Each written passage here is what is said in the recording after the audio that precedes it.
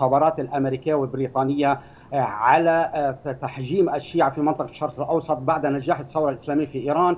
وقد جاءت هذه المعلومات في كتاب مؤامرة التفريق بين الأديان الإلهية اللي هو الكاتبه الأمريكي مايكل براند الذي قال يعني بكتابه بأن الشيعة بعد يعني أصبحوا يمثلون يعني خطرا على المشروع الغربي. ولذلك يعني هم يبددون ويحبطون كل المشاريع الأمريكية في منطقة الشرق الأوسط ومن من يعني وعلى إسرائيل. القاعدة الذي بنوها وبنوا أحلام عليها لأن تكون هي يعني تفرق بين يعني بين البلدان العربية ولتعمل على نهب ثروات الشعوب. فلذلك يعني قالوا بأن الشيعة قوتهم من المرجعية وعلينا إسقاط المرجعية وقوتهم في يعني يعني عاشوراء وال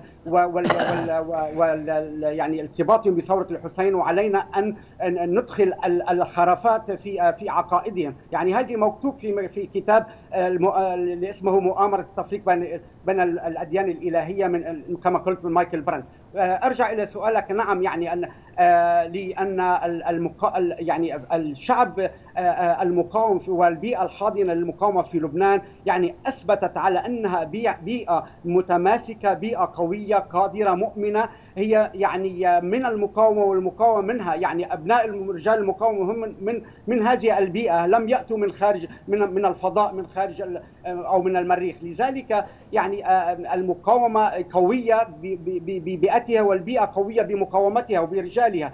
فلذلك هذا التماسك وهذه ال ال يعني يعني هي التي منعت التفكك ومنعت انهيار المقاومة رغم كل الألم ورغم كل الدمار والقتل للمدنيين والأطفال والنساء التي تمارسها تمارسها إسرائيل للحاضنه للبيئة الحاضنة للمقاومة في لبنان. فأثبتت المقاومة ورجالها في الميدان وفي ال ال والنازحين الآن في مراكز إيوائهم ووجودهم بأنهم يعني لن يتخلوا عن المقاومة حتى لأن هذه هي يعني ثقافة وعقيدة المسلمين الشيعة التي هي إحدى الحسنيين حسنيين أي أما الانتصار أما الشهادة.